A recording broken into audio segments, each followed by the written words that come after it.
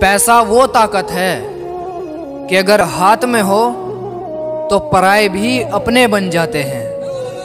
और जिन लोगों ने कहा था मुझे कि मैं कुछ नहीं कर पाऊँगा, कि जिन लोगों ने कहा था मुझे कि मैं उनसे कभी आगे नहीं निकल पाऊँगा, आज उन्हें जाकर के बता दो, मैं उनसे कितना आगे बढ़ गया और इसी तरह आगे बढ़ता भी जाऊँगा।